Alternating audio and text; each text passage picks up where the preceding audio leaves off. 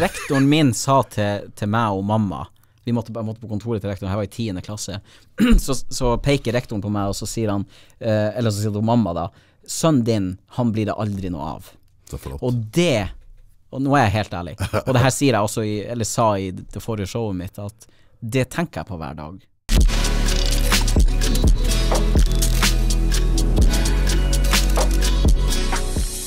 Velkommen til uh, Nordpodden. Magnus Jackson Krog. Uh, hjertelig takk.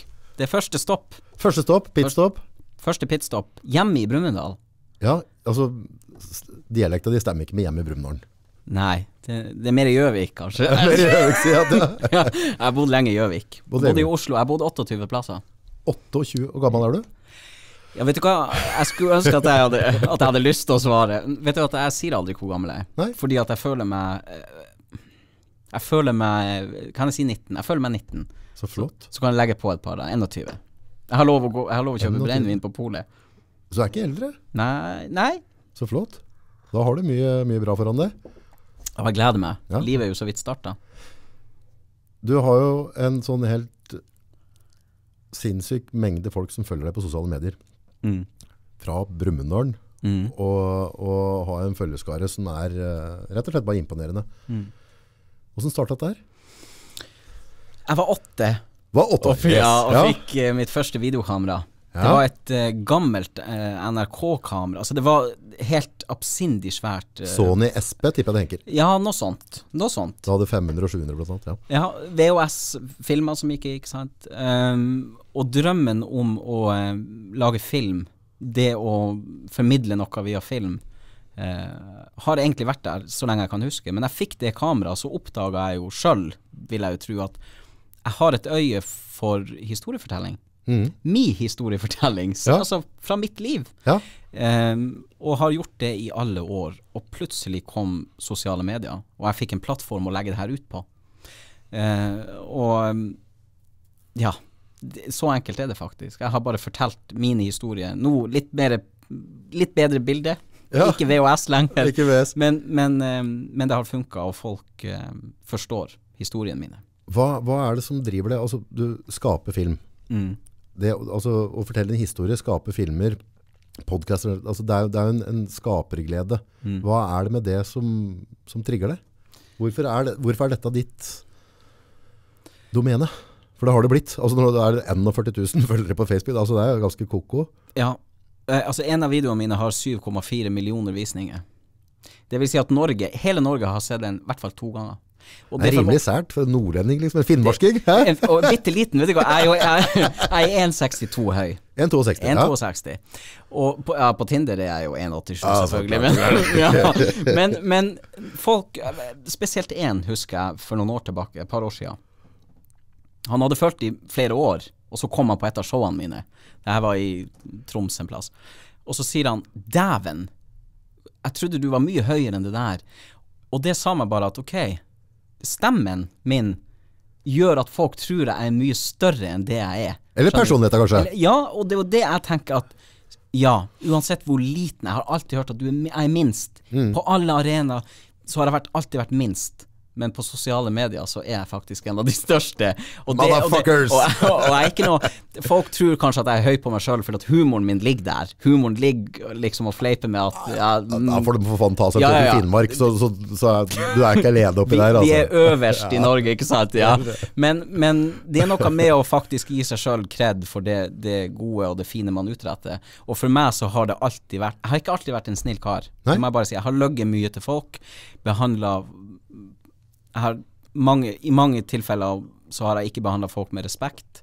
Um, en del av min suksess, tror jeg personlig eh, Jeg begynte å ringe rundt til folk i 2014 og be om unnskyldning for Oi. ting jeg hadde løyet om. Og det ja, jeg, um, og, og det, det, det For rent personlig, av personlige grunner at jeg gjorde det, men jeg tror ikke at jeg hadde For jeg blir veldig shaky når jeg skal snakke med folk, Ja. fordi at jeg er redd for å si noe som er så ærlig at du blir forbanna på meg.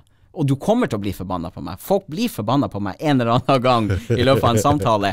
Men det, jeg tror at vi, vi må tåle å høre det, og det er det som gjør at vi Hadde ikke jeg fått alle de sparkene jeg har fått opp igjen i livet, hadde ikke folk behandla meg så dårlig Jeg har behandla folk dårlig, jeg òg, men hadde ikke jeg um, nå i 2019 kunne innrømme en feil, kunne beklage meg, så hadde ikke em, folk gidda å følge meg, tror jeg. Så jeg vanvittig har, Det er bare en, det bunner i en respekt for folk nå. Ja en gang eller to kanskje gjort en feil, jeg vet ikke helt. Nei, hadde det ikke vært for den mengde feilene mine, så hadde jeg heller ikke vært den uh, gubbjævelen her i dag. Mm. Uh, så det å gjøre feil, det, det tenker jeg det, det får vi ta på utdanningskappa. Mm. Ingen er født perfekt. Og Antageligvis kommer vi sikkert ikke til å døve perfekt heller. Men om vi kan på en måte ha en progresjon der. Men tror du ikke det at mennesker som, som opplever Eller jeg, sånn som jeg ser det, så når, når jeg snakker med folk som har oppnådd, oppnådd suksess i eget liv, uansett hva det er for noe, om det Ja, er profesjonelt eller privat eller hva det er, så har de de fleste har opplevd ting som, som jeg kan si, og som de kan si er urettferdig. De har opplevd kanskje overgrep, mobbing. Em, de har rusa seg i mange år. Har gjort, jeg har vært i fengsel og møtt mennesker og holdt foredrag for mennesker som er i fengsel. Og, og eh, jeg, hvis jeg kan si det sånn at jeg har møtt mange mennesker i fengsel som er bedre enn folk som jeg møter på gata, hvis jeg kan si det rett ut. For de har gått den tunge veien. De er inne i det nå og utvikler en respekt for mennesker som ikke var der. Og det er den tunge veien, ikke sant. Og den kan bare, jeg kan bare definere min tunge vei, og så må du definere din. Og forhåpentligvis kommer du ut på andre sida med en respekt for folk. Og så må folk som du har møtt tidligere i livet, bare De må bare like deg eller ikke like deg, ikke sant. Jeg vet hvem han der er, jeg vet at han har de hensiktene, han er ikke en bra kar. Men så vet du med deg sjøl at jeg har en respekt for folk. um, som ikke har vært der hele tida, men som er der nå. Og for meg så er det der Jeg tror mange som har vokst opp med meg, som tror de kjenner meg, tenker mye rart om meg. Men jeg har god samvittighet når jeg legger meg ned om kvelden. Jeg har god samvittighet. Jeg behandler folk med respekt. Um, that's it. Ja, så er det noe med at vi, vi handler ut ifra det ståstedet vi er i livet. Eh, men går det ut med gode intensjoner, så, så får det være nok. Ja, tror jeg tror suksess kommer Altså personlig suksess eh, er bare det å ha det bra. Altså vi ønsker alle å ha det Vi vil bare ha det bra. Ja. Sant? Ja. Vi vil bare ha en god hverdag og, og føle at det vi gjør har en betydning og sånne ting. Og hva du jobber med, det har egentlig eh, ingenting å si. Altså hvis drømmen din er å jobbe med det her, og du jobber med det her, så, så har du det bra, ikke Ja, sant. ja. Og da spiller det ikke noen rolle. Eh, Du kommer til det punktet i livet hvor det spiller ikke noen rolle hva du mener om meg. Det, det bryr jeg meg ikke om, ikke sant. Eh, Og da har du ikke Du har ikke den Jeg husker, eller for, for noen år tilbake, før alt det vi snakker om nå, eh, og jeg ikke behandla folk bra, så var det nok en, en stor del av en misunnelse. Det så ut som folk hadde det så mye bedre enn meg, og det gjorde meg forbanna. Hvorfor har du det så mye bedre enn meg? Sant? Jeg gjør jo ikke noe galt. Jeg gjorde jo masse galt for, overfor meg sjøl. Jeg tok ikke vare på meg sjøl, spiste ikke bra. Um, jeg tok ikke hensyn til meg sjøl, ikke sant. Og det må du gjøre. Du må passe på deg sjøl. Det er ingen andre som gjør det. Nei, det er jo ikke det.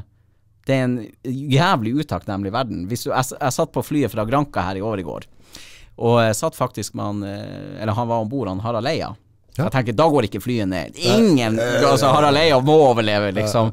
Men jeg det, eller jeg tenkte med meg sjøl at hvis flyet går ned, så er det ingenting som stopper. Hvis jeg dør i dag, ingenting stopper. Null. Alt kommer til å rulle og gå, og så er det en liten mengde mennesker som kommer til å Ja, Magnus er død, det er forferdelig trist, liksom, men sånn er det, vi, sånn er det nå bare. Ja. Eh, og da tenker jeg meg sjøl at da, når det faktisk er sånn, mens jeg er i livet, så må jeg tørre å si hva jeg tenker og føler. Jeg er nødt å være til stede. Jeg er nødt til å leve.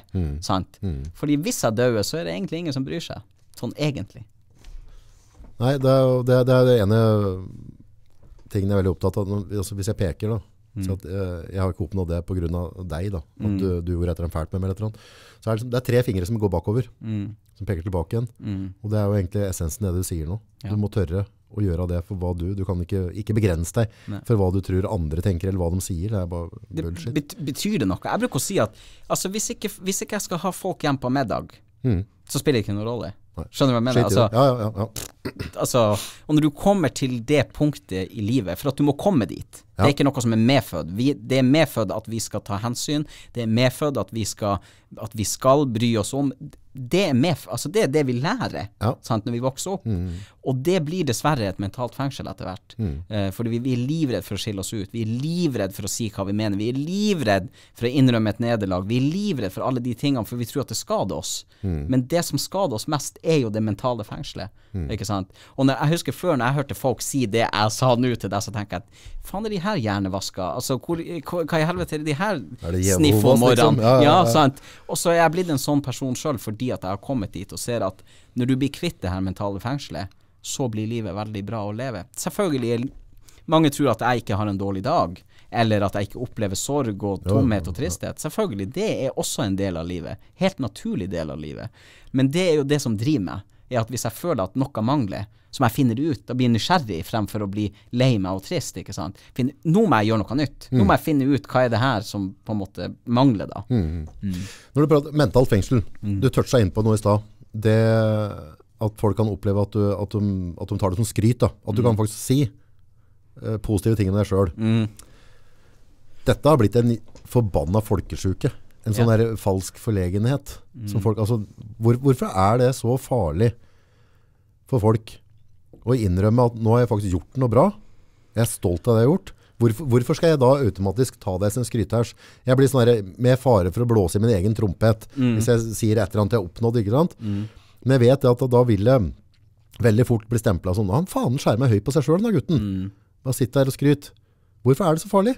Du, når vi ser alle de her, eh, både skuespillere, altså verdens mest selvopptatte, egoistiske tryner. Det er skuespillere, alle de her som, som pryder plakater, ukeblader, alt. De betaler jo noen for å skryte av seg. Hadde de kunnet skryte av seg sjøl, så hadde det gått non stop. De syns at å, det er helt strålende det jeg har fått til. Eh, og jeg tenker det at eh, vi er litt sånn Vi, vi sammenligner oss litt med dem. Sant? Det er ingen som skryter av meg. Det er Nei. ikke noen som skal skryte av meg snart. Vet du hva, det er ikke noen. Du kan godt betale noen for å skryte av deg, men jeg har funnet ut det at, vet du hva, at min Det å faktisk lønne meg sjøl med, med ord og med handling og sånne ting Altså Når vi snakker om selvpleie, så er det å ta seg et bad, gå Altså ferie, alt sånn. Og det å si til seg sjøl Ja, for Granka, Granka. Men, men det å faktisk tørre å si, uansett hvor du jobber henne, uansett hva du jobber med eller hva du gjør, det å tørre å si det høyt at vet du hva, det her, det her har jeg gjort jævlig bra. Når jeg tenker på mitt utgangspunkt, så er det her faen meg Altså, det blir ikke bedre enn det her, for å si det sånn, uansett hvor lite det måtte være. Eller at du føler at folk at det her er lite. Men i norske folkesjela så sier jo, jeg, jeg gjorde sånn og sånn. Mm. Uh, veldig stolt. Men uh, så klart, jeg fikk jo veldig god hjelp. Altså, vi må alltid liksom legge ned PS, bare for at du ikke skal toppe over, da. Altså, nei, jeg skal fortelle en ting. Jeg har sagt det her mange ganger. At hvis jeg noen gang nå, Jeg har aldri fått en pris. Litt skuffa, egentlig. Kan jeg få en pris av deg? Ja, selvfølgelig. Vær så god. Takk. Men jeg har aldri fått en pris eh, hos noen, eller at noen har sagt eh, liksom fra dem som jobber ute med priser og alt sånt der, at nei, nå gir han Magnus Jackson Krogh en sånn pris for han Vi syns han gjør mye bra, gitt. Men jeg skryter så mye av meg sjøl at det virker som at de eh, trenger ikke. trenger ikke noe mer priser. men, men jeg tenker litt sånn at vi Jo, men det er jo altså, jeg, jeg møtte deg, jeg lurer på om det var et eller annet utpå her, så så jeg deg. Du kom uh, Vasan ut på da de drev og åpna eller en pris eller Gaute var sang, tror jeg. Mm. Jeg, vet ikke, jeg så det i hvert fall utpå her. Tenkte på etterpå Faen, hvorfor gikk ikke Bolgane klapp på skuldra? Mm. Vi, er jo i samme bransje Altså Vi begge to driver jo i, i sosiale mediegreier. Mm. Og jeg har jo sett deg, og jeg har jo fått med hva du har drevet med. Mm. Så, så egentlig da, så- som en sånn kall det kollega, da. Mm. Men på en eller annen måte så, så gikk jeg ikke bort og gjorde det, men i utgangspunktet så kom jeg til å gi deg en liten bump i skuldra. Bra jobba. det skulle bare gjort. Ja, men det er jo fair. Hvorfor gjør ikke folk det mer? Hvorfor, gjør, hvorfor er det ikke naturlig for meg å gjøre det?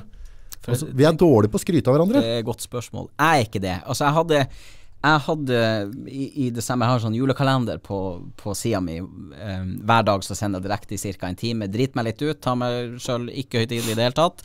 Uh, og folk kan si 'Magnus, gjør det der og gjør det der', og så gjør jeg det. Kan du drikke deg full en julekalender? Det har jeg gjort. Gjort. Eh, Ei luka var å spille Ingrid Winne Håmesteren live i en time, og drikke det han drikker. Men faktisk drikke det. Jeg hadde en veldig dårlig dagen derpå. Det var en forferdelig dårlig dag derpå. Jeg var så fyllesyk. Jeg var fyllesyk halve desember, skal jeg være helt ærlig. Men i hvert fall, da. Så eh, nå avsporer jeg jo totalt. Jo, um, det, må, det må gi hverandre kred.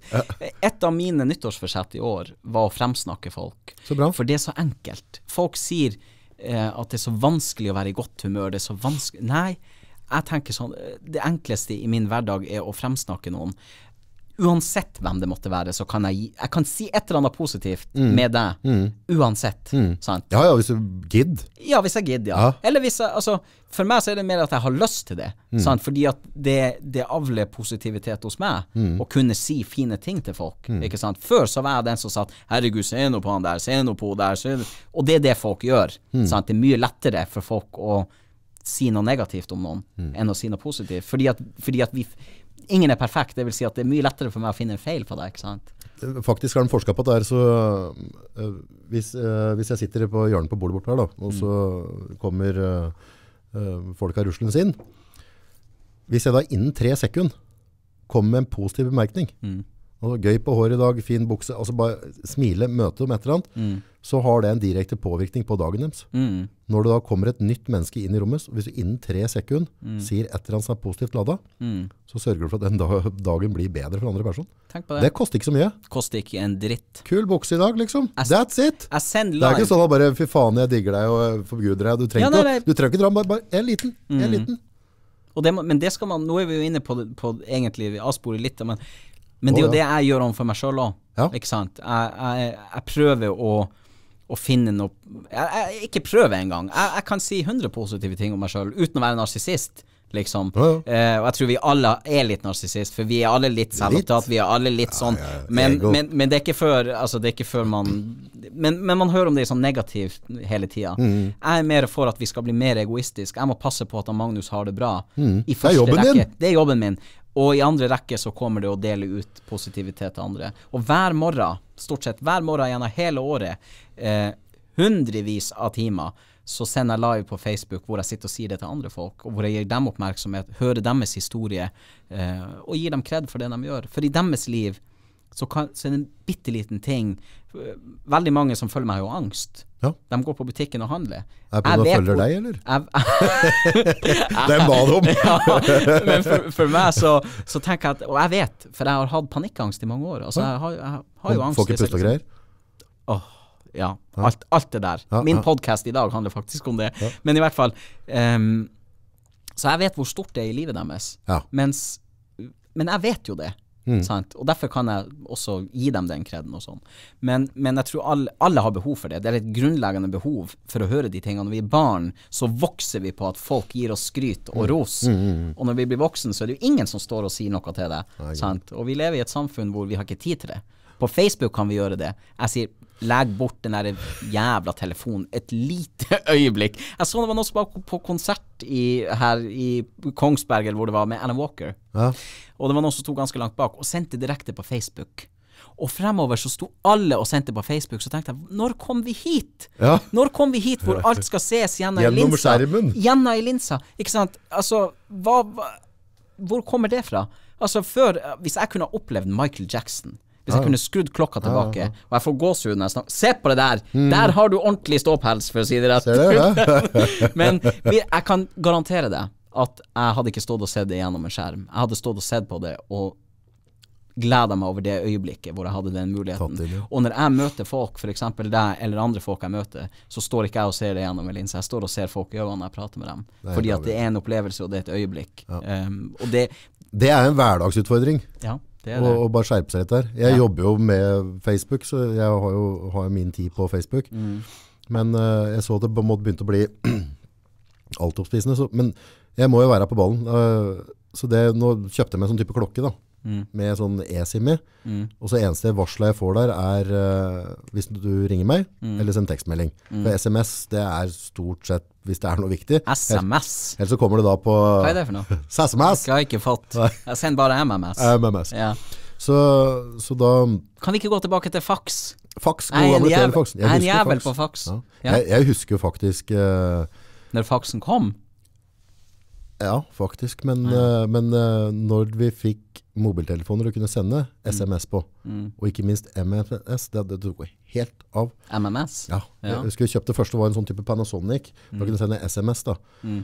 Eh, 20 tegn? 30 tegn? Ja, jeg husker ikke. Da var det jeg og en kompis i Brumunddal som hadde det. Så vi satt liksom på hver vår stein og sendte til hverandre, for det var dritfett. Ikke sant? Ja. Og så begynte dere å, å, å gå, da. Det tok av etter det. Det det var egentlig dere som starta den trenden her i Brumunddal. alle, alle sender SMS i Brumunddal nå, det er helt rått. Ja, Dere helt skulle ha sett. Ja, jeg. Nei, men det var en stor ting når det kom. Ja. Kunne ikke fatte det som kunne sitte her og sende til andre siden av kloden. Bare, Ja. så var det inne. Det var helt sjukt. Tenk for en eh, det er, ingen, det er jo ingen begrensninger lenger på hva vi kan oppnå. Og jeg ser en av de første videoene jeg la ut, som er sett av veldig, veldig mange, den er jo oversatt til spansk og engelsk, Oi, og den har blitt oversatt til flere forskjellige språk. Og jeg tenker det at Så finmarskinne, altså. De, tenk, Det altså, er, det, så, det er sånn der krabba fra Russland som kommer nedover. via altså, Dæven han steike. Ja, vet men jeg føler det av og til jeg, jeg må bare si fortelle det ferdig, for jeg, jeg tenker det at Torsk, vi, vi, tungeskjærer vi og får folk. kjeft nå litt. Grann. Jeg føler at vi har vært liksom, det, er- det er alltid noen grenser. Vi setter grenser hele tida. Før så var det sånn Kjøllefjord, det var ikke noe utenfor Kjøllefjord for meg. Kjøllefjord, Grensa gikk eh, omtrent ved fjellene rundt. Okay, ja. Og så måtte jeg på videregående skole, og så ble grensen flytta litt. Grann. Og så oppdaga jeg at Oslo, Oslo, Oslo Jeg flytta til Alta etter, etter Så var Alta. Og så eh, Tromsø. Og så, sant, så grensen mine har flytta seg hele tida. Og og så kom jeg til Oslo, flytta inn på ei forferdelig leilighet på Veitvet i Oslo med, med han eh, Hva heter han i borettslaget? Han Narvestad. Ja, ja, ja. Han var altså, Han var der, liksom? Altså, det, det var han. Altså, det, det, det, Nei, det er ikke tvil. Altså, hvis det er basert på noen, så er det han. Han var en jævel på vaskepolettet. Altså, det var ikke Etter klokka fire, ikke sjans. Men i hvert fall. Eh, og så kom jeg til Oslo, og følte at Men det her kan ikke være alt. Oslo kan ikke være alt. Ja, ja, ja. Sant? Jeg hadde satt meg et mål om å være på Hotell Cæsar. Og når jeg sto i lobbyen på Hotell Cæsar, så tenkte jeg fy faen, det her drømte jeg om da jeg var ti år gammel. Og de grensene har jeg sprengt. Sant? Altså, Takk. og, og videoen og, og det jeg har sagt, er oversatt, og millioner har sett det der ute. Gud vet hvor mange som har sett det nå, med de videoene som er oversatt. Jeg husker det var ei dansk avis som ringte meg her i 2015. Og eh, skjønte ikke en Ja, ja, drit, ja. av hva- jeg skjønner jo ikke dansk. Og plutselig, og plutselig så hadde jeg et svært oppslag i en dansk avis om, om ADHD og styr og stell, ikke sant. Men det er jo ikke om ADHD, det er jo meg. Det er jo mitt liv, ikke sant. Altså, Da ser dere folkens så gærent det gå hvis ikke medisinerer disse Ja, ADHD-folka. det er korrekt. seg i hele Men- verden. Faen steike. Men, men jeg føler at alt har alltid hatt en grense. Det har liksom vært en grense rundt meg på hva jeg kan oppnå, hva jeg kan gjøre, hva jeg kan tørre. Og så er det egentlig bare, for å ta det litt tilbake, det mentale fengselet jeg snakker om nå. Hvis du opplever ting, og hvis du setter grenser for deg sjøl hele tida, hele tida, eh, så oppnår du ingenting. Og hvis du hele tida bryter de grensene og gjør de tingene som er mest skummelt, f.eks. når du har angst, så er det å gå og handle på butikken det skumleste i verden. Helvete. Og når du, når du kommer deg gjennom det, og kommer hjem igjen, ja vel, så er du svett, og du det kjennes ut som du har vært på jobb en dag, men, eh, men den følelsen som kommer etterpå om at jeg har overvunnet noe, jeg har klart noe, jeg har brøttet noen barrierer her, den kan ikke måles i hverken penger eller noe som helst. Og da kan du tenke deg hvordan det føles for meg, når, når du plutselig er nede i Granka og noen skal ta en selfie med deg. Da mm. føler du har nådd ut et stykke, altså. Mm. Ja, Ja. ja. Det har skjedd ting da. Du sier at vi kan oppnå alt. Vi kan nå alle mål. Ja. Eh, med tanke på at du sto med VHS-kamera i, i Kjøllefjord som åtteåring, Mm. og er der det er i dag. Jeg er sykelig opptatt av hva skal til av rutiner og tanker. Hva, hva må vi gjøre for å komme dit? Mm. Altså, noe av det mest usexy jeg ser, Mm. så er det et ubrukt talent. Mm. Det er noe så forbanna mange gode talenter rundt oss, overalt. Mm. Og så bare visner dem bort. Vet du hva jeg bruker å si? Jeg bruker å si at eh, når, når mennesker lever i sånne begrensninger at de blir sittende hjemme, kanskje de er i Nav-systemet, mm. da får du et storting som vi har nå. Sant? Inkompetent. Ikke alle, men veldig mange. Nå skal jeg være litt forsiktig her. Hvorfor det? Jo, fordi at jeg fikk en melding hos, jeg fikk en melding hos Erna Solberg i 2016 hvor det sto hun kunne ikke, hun kunne ikke tilby meg jobb, men det var et eller annet sånt, så jeg må være litt forsiktig. Jeg okay, okay, sikta meg inn på Stortinget. Ja. Men, men um, som sekretær. Men i, i, i hvert fall så, eh, så tenker jeg det at Altså, jeg er helt enig med deg at når du ser når Nå du fikk jeg tanker. Er Nå har jeg sett- nå har jeg sett en Magnus fra Kjøllefjord, som er sekretær på Stortinget. Ja. Det blir møtereferat. Ja, det, ja, det blir det. Så så hestkuken! Og så var det Ja, og så skriver jeg bare mitt eget referat, egentlig. Ja. Jeg når ut til flere, så, men i hvert fall. Faen, mye bra lover vi får. Men i hvert fall, når jeg møter folk på mine foredrag eller mine show, eh, så er det veldig mange som Altså, de har faen ikke vært ute av døra nesten på flere år. De har aldri sagt noe Det er så krise? Det er så krise. Det er en epidemi. Eh, altså, nå har jeg 50-50 eh, folk som har lyst til å flire, Ja. og folk som faktisk har lyst på en forandring i livet. De kommer for å bli inspirert, de kommer for å høre ei historie, og for å kanskje få eh, ei vitamininnsprøytning med psykisk helse. Og det føler jeg jo at jeg til en viss grad klarer å gi dem. Tydeligvis, da. Ellers hadde det ikke Ellers hadde det ikke fungert. Nei. Men, men det jeg ser er at ingen, eller veldig mange ganger, ingen har sagt noe positivt til dem. Ingen har sagt at det her klarer du, det her kan du. Ingen har sagt ja, har du et talent? Og så må de tenke. Selvfølgelig har du det. Du har jo noe. Noe kan. Du kan noe. Ja, ja, ja. Men når ingen, når du aldri har hørt det, ingen har spurt deg, du har aldri reflektert over det engang, så det sier litt om oss som samfunn. Vi, å, vi, være, vi er så snille med hverandre, vi er så gode, vi er så gjestfrie. Mm. Vi er ikke det. Vi er egentlig et jævla innelåst samfunn. Ja, vi, er- vi er programmert til å være bekymra. Ja. Altså, det blir sånn derre Ting har jo gått veldig bra med oss her nede på tårnet, og før tårnet. Men hvis jeg da prater om noe nå, så, så er det sånn derre ja, ja, men vær forsiktig, ikke vokse så fort, da. Mm. Det er ikke sånn dritbra. Bra jobba, stå på, bare gass på videre. Pass på det. Det er litt rart. Det ligger sånn, og jeg, jeg vet med hånda på hjertet, de sier ikke det for å være gølle eller vonde eller noen ting, men det bare ligger så latent. indoktrinert. Ja, så jeg husker vi la ut en post når vi flytta ned hit, og så kom jeg, nå var det noe avgiftsgreier og noe styr attåt. På ett døgn så fikk jeg mer skryt enn jeg har fått hele forbanna livet mitt. Ja, Det var ganske vanskelig å forholde seg til. Mm. Det var skikkelig uvant, liksom. Altså, du føler at du, altså, hvis, hvis du har gødd å bruke tida di Mm. på å skrive noe pent om meg, så, så skylder jeg deg å Ja, komme hvor- med en positiv respons òg, ja, ja. Så tikka det inn, vet du. Tenkte, dæven, når ble dette riktig? At en Auge skal få skryt, liksom, Mm. oppi det hele? Det er sprøtt. Og så tror man kanskje ikke helt på det heller. Jeg merker at jeg nesten blitt litt Og det her er litt fælt. Uh, nå er det her den første podkasten uh, som jeg gjester eh, av en serie fremover nå. For jeg har bevisst takka nei. Um, og, og det her høres kanskje litt fælt ut, men jeg får, jeg, jeg får veldig mye skryt. Jeg Ja. får meldinger hele tida fra folk som Ja, det er fint, men jeg blir litt herda. Fordi at jeg føler at um, Hvis ikke jeg kan gjøre ei handling for deg som gjør at du får det bedre For det her kommer ofte fra mennesker som ikke har det noe bra. Mm. Og jeg bare tenker, hvor finner dere Når jeg var der du er, bruker jeg å tenke, så hadde jeg aldri kunnet ha gitt noen skryt. Jeg kunne aldri ha gjort det. Men det det. kan godt hende at bare du sitter nå i, i den gule genseren din, Mm. er nok for at du er motiverende for dem. Kanskje. Altså, det, altså, hvor, hvor er det altså, Bare det at du lever, at pumper i går, og at du gjør det du tror på, Mm. det kan være nok at du er mentoren for hundrevis, tusenvis av andre mennesker Mm.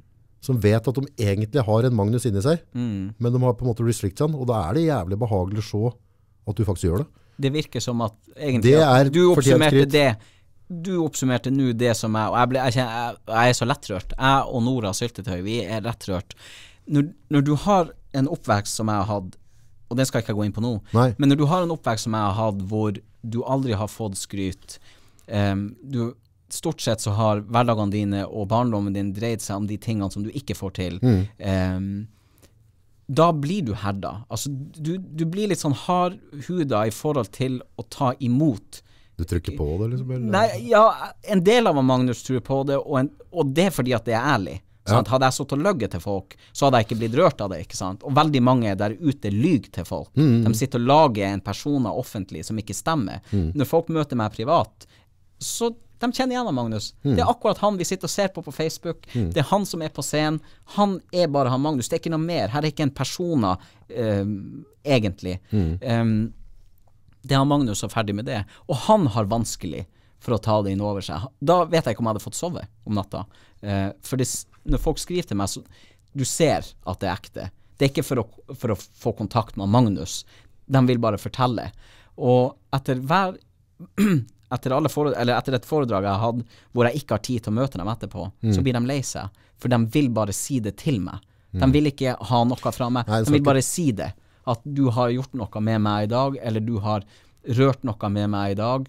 Um, og når jeg møter dem Jeg griner. Her i Levanger, uh, i rett, en av de siste forestillingene, så kommer det ei Hun var 16 eller 17 år uh, på bakrommet etterpå. Noen også leide henne inn da.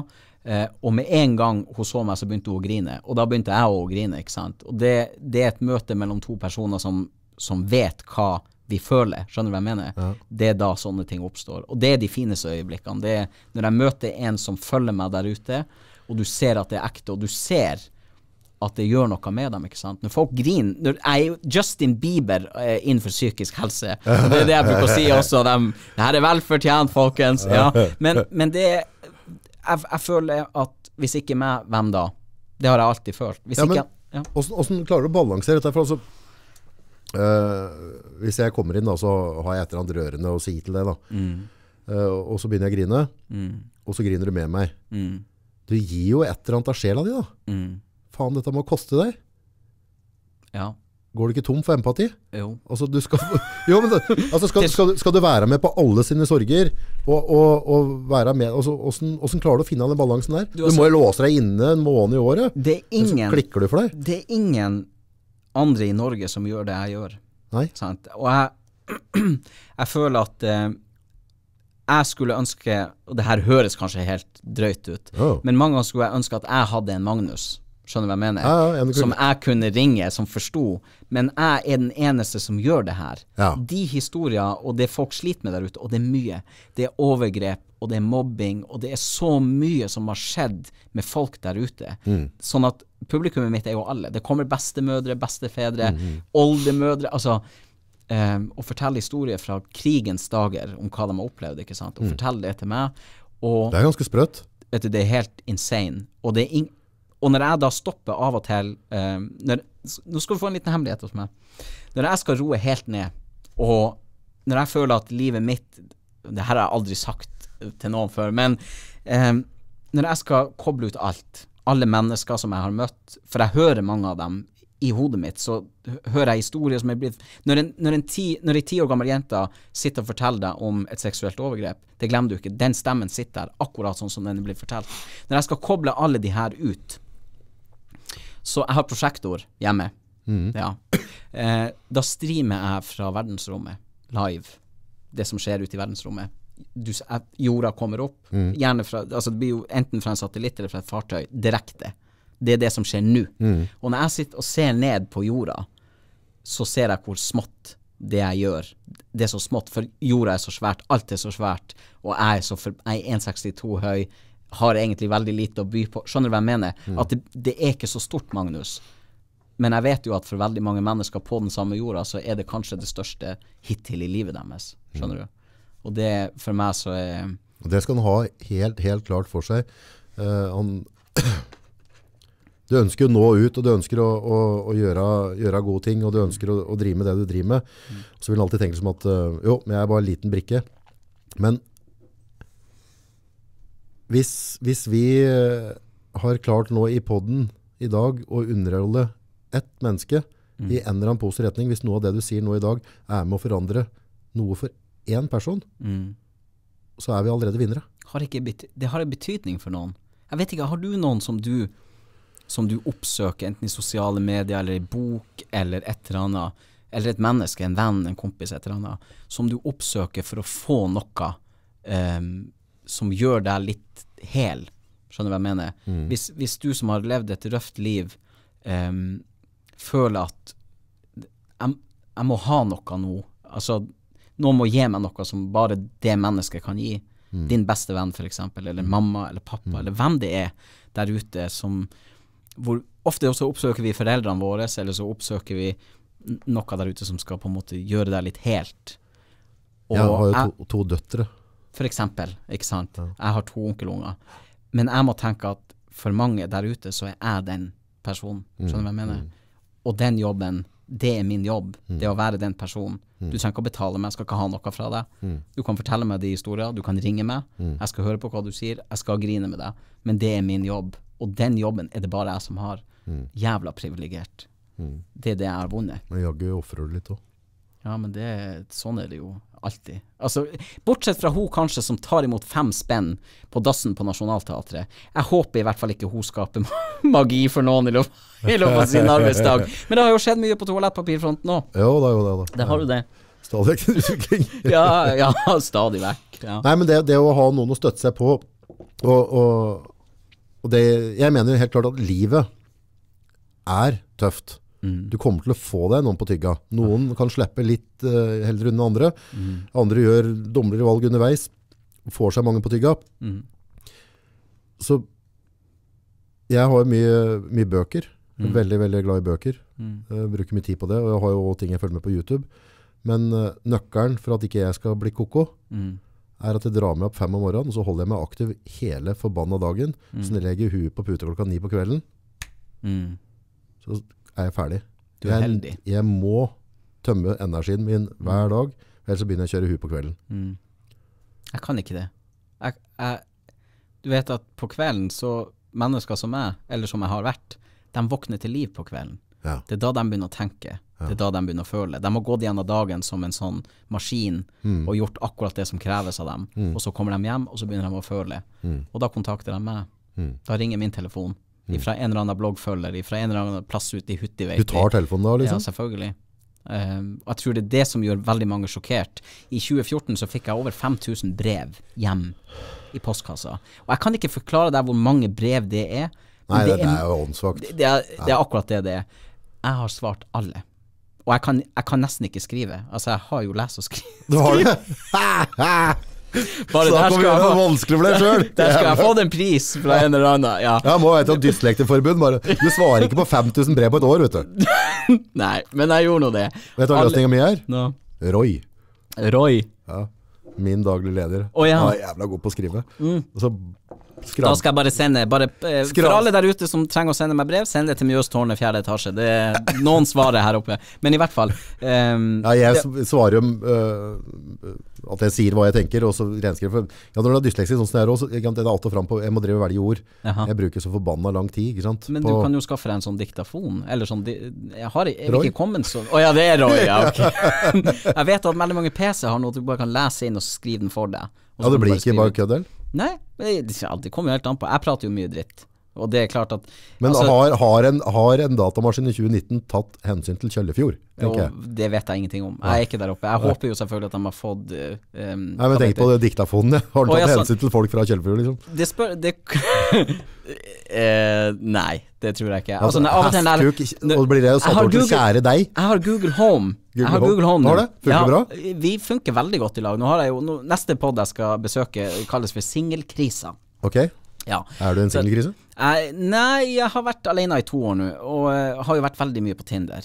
Ok, Og- og jeg er jo- funker Tinder? Også, Du, den matchen, det kan jeg fortelle, jeg har fått veldig mye merkelige Tinder-matcher. Jeg fikk en med ei oppe i Øvre Vang, oi, oi, oi. men det er jo et helvete, for jeg kjører jo ikke bil. Eh, og Hvorfor måtte, kjører du ikke bil? for at jeg klarer ikke å konsentrere skal- Nå kommer jeg skal Det her blir veldig mye faen skal promotering. sparke deg i ræva Men jeg etterpå. skal jo lage Vi holder på med en TV-serie hvor du skal få være med meg inn i bilen. Og jeg går ikke ut av bilen før jeg har tatt lappen. Det er en kjøreskole i Tromsø som har tatt på seg den oppgaven. Så det kommer en TV-serie i løpet av neste år. Men i hvert fall. Um, så fikk jeg Tinder-match oppe i Vang der. Jeg må jo ta buss. Ja. Så jeg måtte ta Altså, da måtte jeg Det her var Jeg fikk Tinder-match i tolvtida på formiddagen. Jeg hadde hatt champagnefrokost, ikke sant? Sånn at Ja, så var klart. Ja, de hadde champagnefrokost der oppe òg. I Vang? I Vang, ja. Slutt opp. Det, ja, det er hjemmebrent. Ja, det er det. Ja. Så da skulle jeg altså ta bussen opp. Altså Først skulle jeg dusje, skifte, ta bussen opp, pule og ta bussen tilbake igjen på halvannen time. Ja. Det gikk helt fint. Altså Det var bussturen som tok lengst tid, så det var ikke noe problem. Klar, Men i hvert fall, Tinder er veldig altså, Du det trenger ikke å dusje når du skal på champagnefrokost i Vang, vet du. Nei, og det er ingen som merker forskjell heller, så det er veldig greit. Med min sosiale angst, vet du. Så. Men, men eh, Tinder har vært veldig handy. Det er et handy verktøy. Ok, Men, eh, men du eh, kom etter min tid. Ja, det er mulig det. Eh, Jeg, har jo, jeg er jo en veldig Jeg er ikke sponsa av Tinder, men det burde jeg egentlig ha vært, for jeg er veldig glad i Tinder. Jeg er litt sånn fan av to mennesker møter hverandre. Ja. Om det er via en app eller om det Det bryr jeg meg ikke så mye om. Jeg har fått mange gode venner. er. Etter, altså, mange ja, Mange kvinnfolk jeg har i Eller ikke så mye i livet mitt nå, da, selvfølgelig, men som kom via Tinder. Vi Altså ikke kom, men altså som jeg møtte. som jeg møtte via Tinder. Og vi har hatt mange fine samtaler. Sant? Og, og av og til Jævlig ålreit å prate med deg der, altså. Du, på Tinder. Steike, vi gren sammen når vi prater pratet og Men altså, det starta som en fleip. Sånn at på profilen min så sto det 1,87 høy, Ofte. og så var det et veldig bra bilde av meg. Et veldig bra Nå er jeg jo ganske kjekk, men et veldig bra bilde av meg. Eh, I litt sånn dress. Jeg var litt tynnere enn jeg er nå, og sånn. Jeg er litt for glad i McDonald's og sånn. Du Um, ser ikke akkurat overvektig ut der du sitter. jeg har vært 180 kilo, mann. Jeg har vært- 180 har du ikke vært! 180, 180, ja, hva tenker du? 108 kilo, mann. Ja, da begynner det, da er det mye mannfolk. Det Da har litt å var skyve med, da. Fy faen, sier jeg bare. Ja, i hvert fall. altså, hadde jeg, hadde 108, og så har skinnet ditt stramma seg inn igjen, da? Du vet jo hva legen han sa til meg, og det her skjedde på veldig kort tid. Ja. Det her var i Honningsvåg, og han sa til meg, jeg kom opp til legen, jeg hadde sånn hjerteflimmer. Ja. Så sier han Magnus, hvis ikke du slutter å spise nå, så dauer du. Ja, Ferdig med det. ja ferdig. Så jeg slutta ikke å spise, men, og jeg gikk jo kokk. Det er jo det som er den egentlige utdannelsen min. Så Eh, klart, uten burde ha tenkt meg det. Ja, ikke sant. Eh, så alt har egentlig bare krympa igjen. Utrolig nok. Og når jeg ser bilder av meg sjøl eh, nå på 108 kilo, så det er ikke Magnus som sitter her. Jeg ser jo bare en deprimert nordlending uten mål og mening, med, som bare låste seg inn i sitt eget eh, Hadde ikke vært en annen greie, bare klinka, klinka det bildet ut på Tinder? Så ser jeg åssen Ja, altså, det- det hadde jo egentlig vært det beste, var jo å få en match når jeg Da så får sånn du de ut. samtalepartnerne dine, kanskje? Ja, kanskje det, men, men i hvert fall 1,87 det var- muskelbunt, for samtalepartner i ræva mi. jeg hadde jo et poeng her. Fordi at når jeg åpna Tinder, så det var som en fleip. Mhm. sant? Så jeg bare plotta inn masse tull. Og så fikk jeg jo en match, da. Eh, og vi hadde det noe koselig. Det var faktisk 16. mai 2013, eller noe sånt. Ja, god samtale. Ja, veldig hyggelig. Men så glemte jeg jo å skifte på det igjen. Altså på høyder og sånne ting. Og vet du hva, så mange, ja så mange La oss si jeg har møtt 50 kvinnfolk da ja. det siste året på Tinder. Eh, hvor Jeg har ikke gidda å skifte på det engang, vet du. Når, og jeg, sitter, jeg passer på å sitte når de kommer inn, gjerne i en restaurant og sånn. Passer på å sitte. Og vi sitter hele kvelden, prater Jeg er pissatrengt som faen, for jeg går ikke på dass. Vi sitter og prater hele kvelden, og så reiser jeg meg opp. Og da er som regel Tinder-daten over. Og det har vært veldig hyggelig for begge to. Og av og til Kanskje hver tiende går inn, hvis jeg kan si det sånn. Har du fått noe sånn det- derre Dette finner meg ikke i, du er, du er ikke 1,87. Nei, Har du fått noe sånn bare men Steike, For, mann. for meg så er det blitt litt morsomt, da. Fordi at det er utrolig hvor de her Jeg er 1,63. Hvor de her 10-15 centimeterne, altså i høyda mi, Ja, ja, ja, eh, på en måte avgjør om kvelden fortsetter, eller om daten skal fortsette eller ikke. Det har noe å si, altså? Tenk, tenk, det har noe å si. Altså, altså av La oss si jeg har møtt 50 Mm. kvinnfolk det siste året eh, på Tinder. Så er det kanskje fem av dem Mm. som jeg har fortsatt å date litt, før vi har fant ut at det her var ikke noe særlig. Det her går ikke. Eh, og de, de resterende så har det nesten utelukkende, tror jeg, gått på høyda. For jeg er en veldig likende kar, egentlig. Jo, jo, veldig men det er ikke noe verre med det. Jordnær, trivelig kar, prater masse. Det er ikke noe klein stillhet, ikke sant. Eh, så Men det er liksom Jeg kan avgjøre det når vi reiser oss I det øyeblikket vi Da reiser oss opp, og dem gir meg et sånt blikk, og alle er liksom Å, skal jeg gå att med det her? Eller skal jeg Skjønner du hva jeg mener? Ja, ja, ja, ja. De begynner å tenke på hva andre tenker om oss, Eller det er jo egentlig ikke noe synd i det. Altså, utgangspunktet så er jo du en, en kjekk kar, da. Ja. Uh, og du er 1,2 jeg er 1,80 og mindre pen. Mm. så det hjelper ikke å være 1,80 støttel.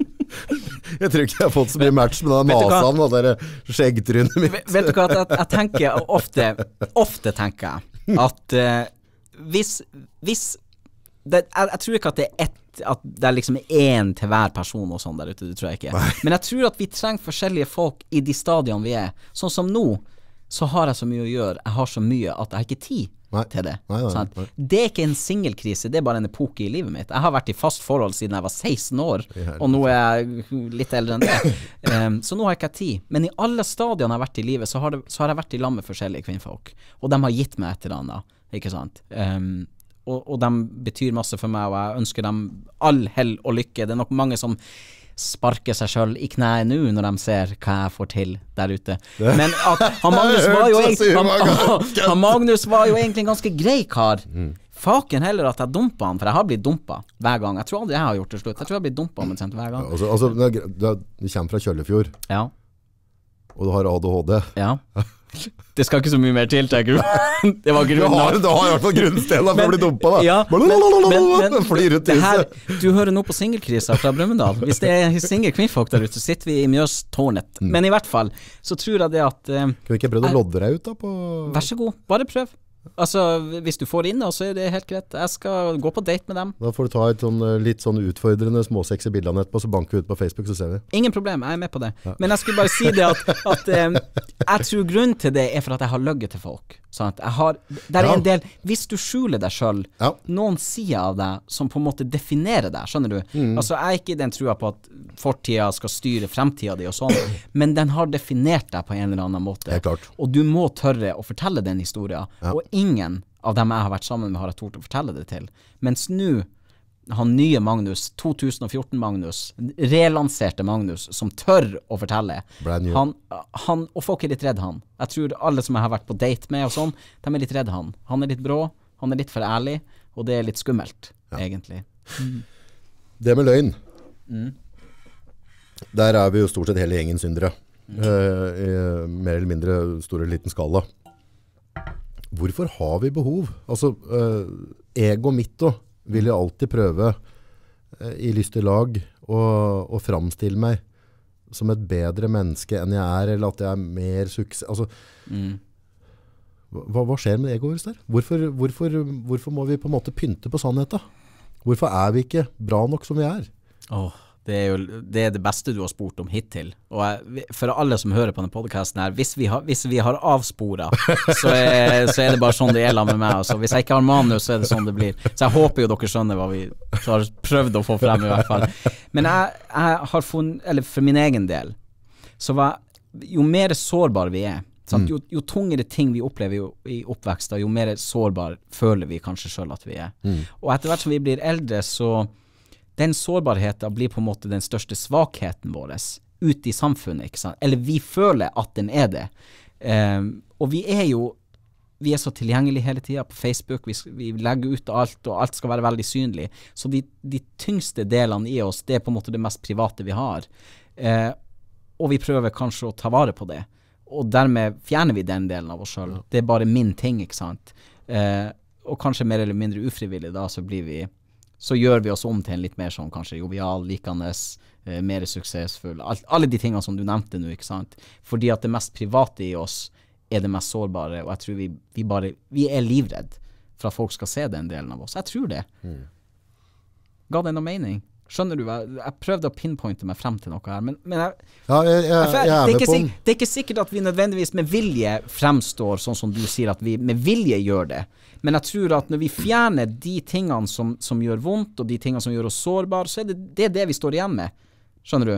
Altså, ja, ja, for det, jeg tror altså den, den eh, største skuffelsene rundt i livet mitt mm, er skuffelsen fra meg sjøl til meg sjøl, mm, for at jeg vet at jeg kunne ha gjort det bedre, jeg kunne ha gjort et bedre valg, jeg kunne ha gjort ting helt annerledes. mm, Jeg hadde evnene og muligheten til å gjøre det, og så har jeg likevel valgt å kanskje ikke gjøre det. mm, Og det er ganske tøft å forholde seg til. Ja. Eh, du kan være skuffa over meg, og det klarer jeg å forholde meg til, men den, der, den sjølskuffelsen mm, om at jeg ikke har levert det, det jeg er i stand til å gjøre, mm, eh, og erkjenne det, mm. det sug hestkuk. Og da, kan, ja, og, da, og da kan du prøve å ljuge deg litt vekk ifra det. Altså, Ja. du, du vil ikke være ved det. Nederlags... Det har vi jo lært opp fra vi var liten, at det å tape Det er, fotball, det er det verste som finnes, det å tape, ikke sant. Og vi og jeg tror at vi Det blir indoktrinert i oss, ikke sant. Jeg tror at samfunnet er på tur en annen plass nå, for vi, vi Taperne er jo de egentlige Altså, de er jo like mye vinnere som alle de andre, og alle de her tingene her. Mm. Eh, og alle Ja. Og alle de historiene skal fram i lyset, alt skal fram i lyset og sånn. Mens de egentlige tingene som betyr noe, går tapt på veien, tror jeg. Altså, de, enkelthistoriene om hva det gjør med deg, det, det For meg så tror jeg det at i min jobb så Min historie er ikke noe en og alene. Det, det er tusenvis av mennesker som har opplevd det samme Ja, som ja, meg. Men grunnen til at, eh, til at det funker det jeg gjør, er fordi at det blir fortalt på en sånn måte at folk forstår det. Sant? Folk forstår alvoret i enkelthistorier. Og når man da vet at alle har si historie, men det, det er skremmende, egentlig, fordi at det er så mye fælt som skjer rundt i Norge. Når jeg forteller om de her 5000 brevene, Ja, ja, ja. Det var 5000 forferdelige brev på mange måter. Og jeg satt egentlig med Jeg følte at jeg satt med hele Norge foran meg. Å, fy faen hvor mye fælt det er, som ingen prater om. Eh, VG og Dagbladet, jeg leser ikke de avisene der. Det står om bloggere, det står om alt mulig piss og reklame og alt det her.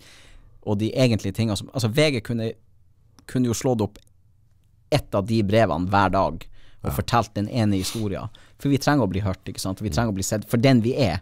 Men sant, når jeg møtte deg i dag, jeg kunne lett ha, ha tenkt på deg nå, nå har jeg jo sett litt på det her som du driver med og sånn, så jeg føler du er en rimelig jordnær kar. Men jeg kan tenke meg at en som møter deg, kanskje ser på deg som litt selvgod og litt arrogant, men med en gang du begynner å fortelle litt, lite grann, et flik, sånn som du har gjort til meg i dag, om hva du har opplevd, så får jeg en respekt for deg. Med en gang. Sant? Og det å ta seg tid til å høre på, uansett hvor du møter dem, høre litt. Sant? Jeg kunne bestemt meg for at faen, han der han er jo en selvgod, arrogant faen. Ja, rett og slett en kuk. Ja. Men hvis jeg da Ok, Magnus, det er det du tenker om nå. Spør han Ja. hva du har opplevd i livet ditt. Så forteller du meg. Ikke for at vi skal gjøre det vi gjør nå, men mennesker jeg møter i min hverdag, skjønner du. Hvis vi tar oss tid til å høre litt på enkelthistorier, så kanskje man får et nytt syn på folk.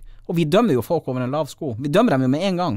Førsteinntrykk. jobber- hun. Den du møter i kassa på Rema, frisøren din, tannlegen din, legen din. Alle. Vi gjør oss noen tanker om hvem de er, og så har vi ikke peiling.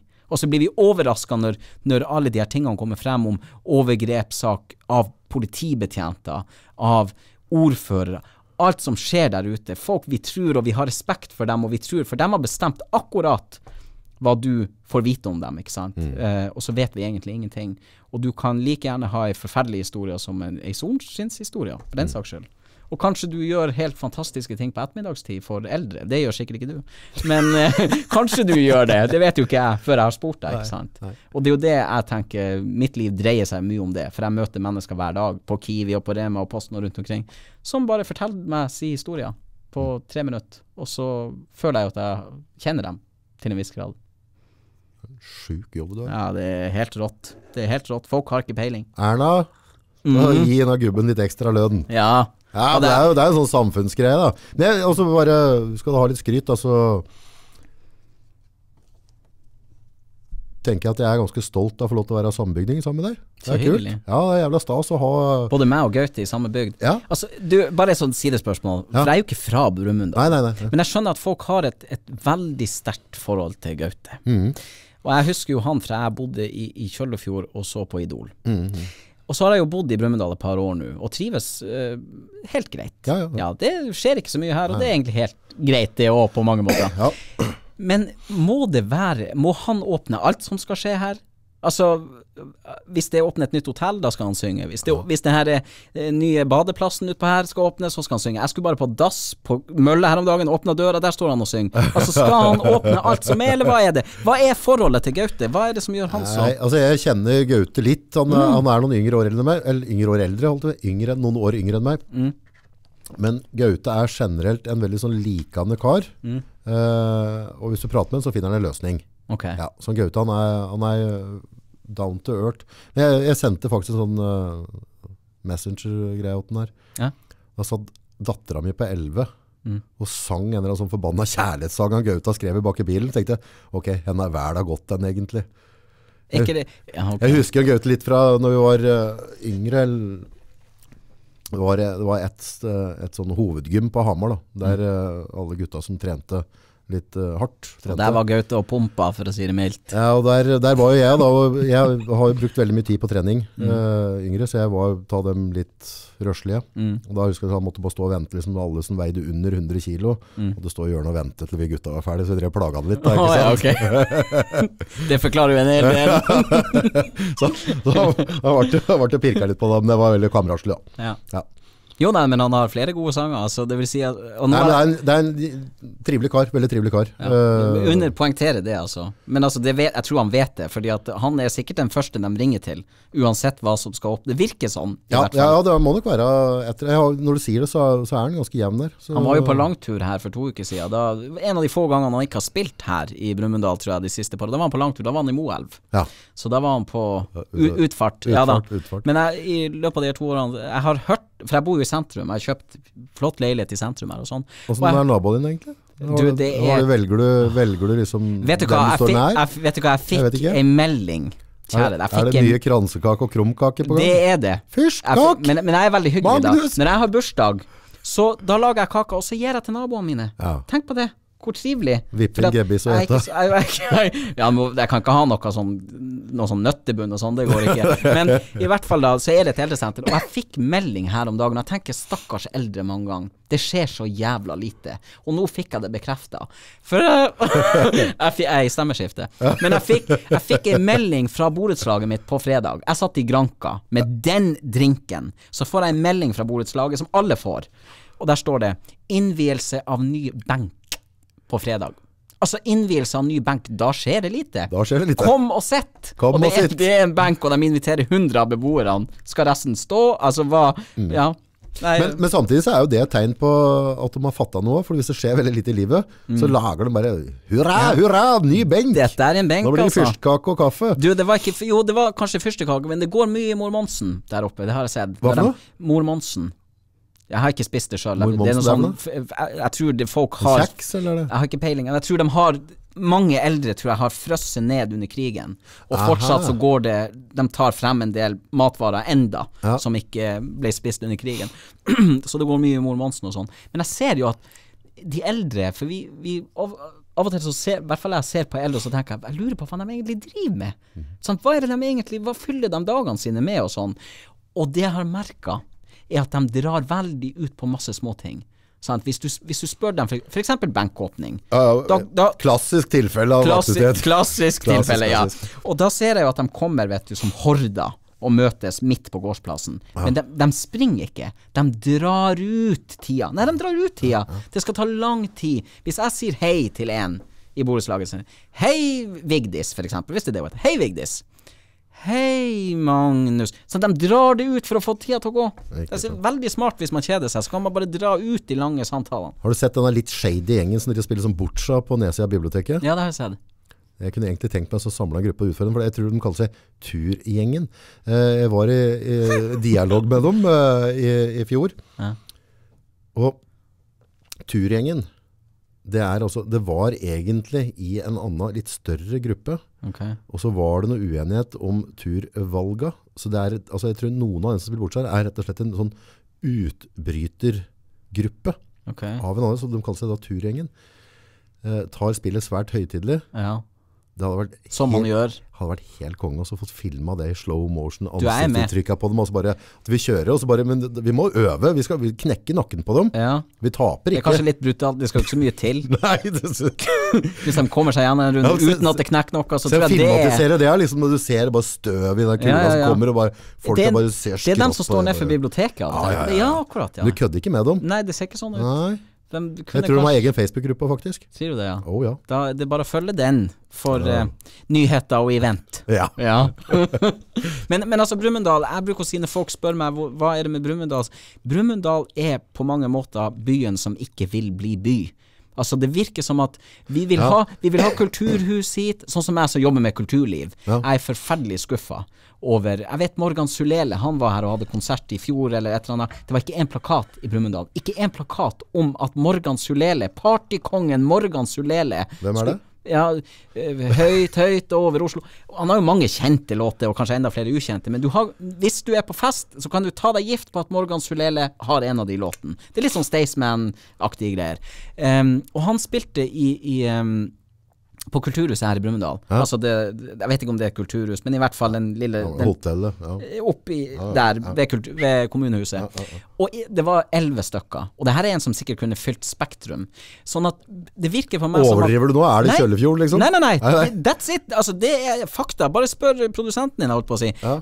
Morgan Sjulele er svær i partymiljøet og sånn. Hadde han spilt her, altså, og det hadde hengt en plakat, eller at noen hadde visst om det, så hadde han fylt den salen. Og jeg som er Morgan, jeg er jo Jeg liker en god fest. uh, hver helg.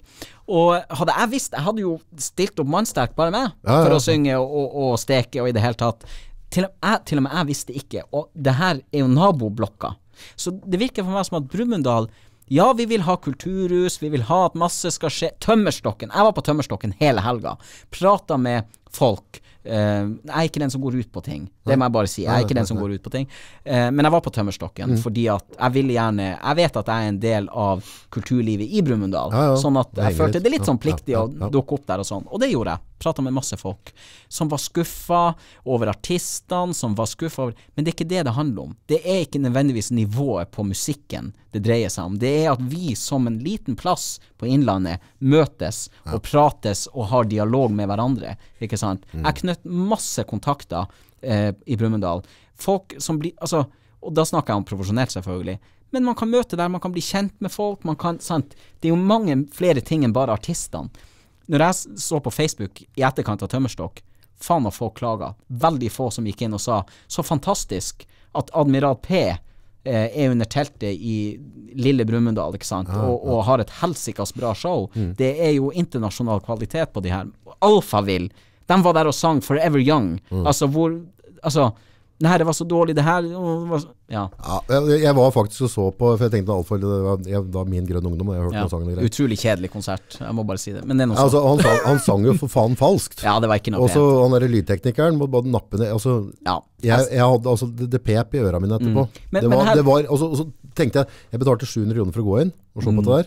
Tenkte jeg til helvete. Jeg skal i hvert fall høre den greia der. Ja. Så ble jeg stående og pines Ja. gjennom. Er- Så jeg, jeg, bena fløg så bort det bar meg ut igjen, altså. Her kommer litt forskjellen på meg og deg, da. Bitte lite grann. For jeg, jeg, jeg, det er min hjerne som alltid tenker uavkort på det positive. Selvfølgelig, jeg er helt enig med deg. At det var forferdelig lyd. Men, men jeg har ikke tenkt på det på den måten din med det å samle folk.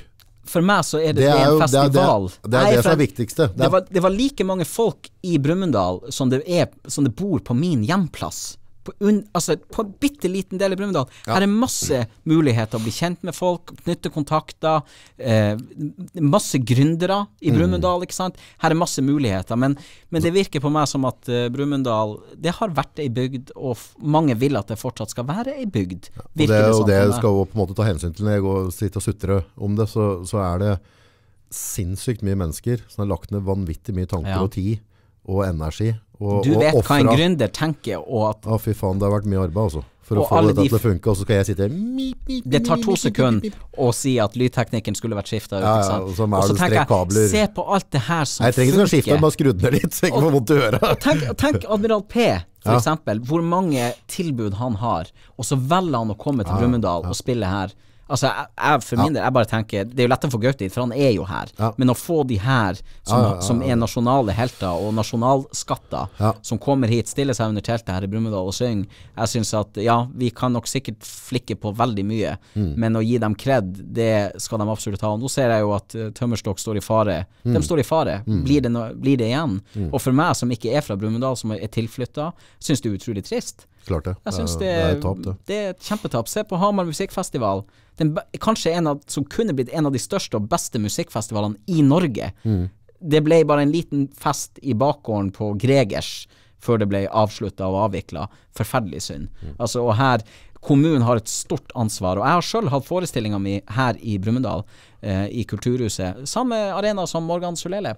Det var flere på mitt foredragsshow enn det var på Morgan Solele. Og det synes, Altså, det er jo greit for meg, Ja. men, men det er trist at um, at ikke kommunen egentlig er mer synlig og villig til å ja, til å spre det glade budskap. Mm. For det skjer mye bra, og vi er, det er mye bra folk i Brumunddal, syns jeg. Og jeg snakker jo med mange av dem. det. Jeg har jo kjent Brumunddal og Ringsaker i, i mange år. Jeg er jo 42 nå. Og du er såpass, ja? Ja, ja, ja, ja. Ser bare så jævla ung ut. Ja, det det. Hun, altså hun kjøpte, eller tok en sånn eh, face-app, skulle få det til å bli gammel. Tok av bilder med Lion. Så yngre ut. Den er kjip. Jeg gjorde, Gjorde det, ja. Du så ikke det. Det eneste som var gjort, var å lage litt så grå i skjegg. Hår. Litt- Litt grått hår. Nei, hår hadde jeg ikke, men det var litt grå i skjegg, og så var liksom litt mer gråtone. Det, det var ingen forandring. Det er litt kjipt. Og så så jeg en annen kompis som er faktisk eldre enn meg, Mm. som la ut den der, og han var brålik meg i dag. Wow. Det, det, her blir henstilling. Bare gi faen i den der Ja, appen. det- Ja, det kommer til å gå utover selvtilliten din. Mobbing, Ja, det det det dette. Dette er mobbing i min, min bok. Det er det. Ja. Nei, Ringsaker.